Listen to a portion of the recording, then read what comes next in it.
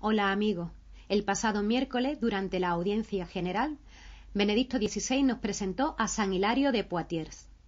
San Hilario de Poitiers nació a comienzos del siglo IV, creció en un ambiente poco cristiano, fue bautizado años más tarde y después de un camino de búsqueda de verdad que lo llevó a la fe en Cristo, fue elegido obispo de su ciudad, dedicando toda su vida a defender la fe en la divinidad de Cristo frente a los arrianos, llegando a sufrir por ello el destierro.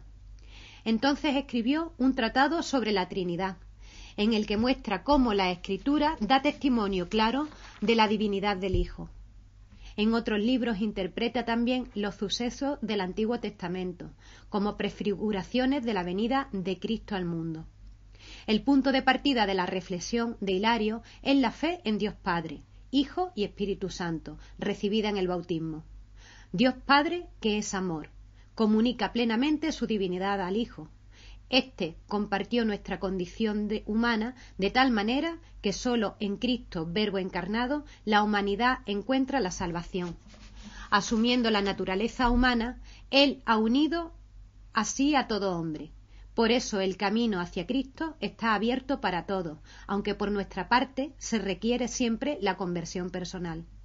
En el año 360, Hilario pudo finalmente regresar del exilio a su patria. Un sínodo celebrado en París en el año 360 retomó el lenguaje del concilio de Nicea. Algunos autores antiguos consideran que este cambio del antiarriano del episcopado de la Galia se debió en buena parte a la fortaleza y mansedumbre del obispo de Poitiers.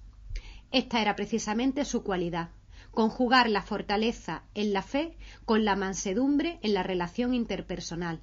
En los últimos años de su vida compuso los tratados sobre los salmos, un comentario a 58 salmos en el que dice que no cabe duda de que todas las cosas que se dicen en los salmos deben entenderse según el anuncio evangélico de manera que independientemente de la voz con la que ha hablado el espíritu profético, todo se refiere al reconocimiento de la venida de nuestro Señor Jesucristo, encarnación, pasión y reino, y a la gloria y a la potencia de nuestra resurrección. Nada más, amigo. Te espero mañana en Dios Existe V.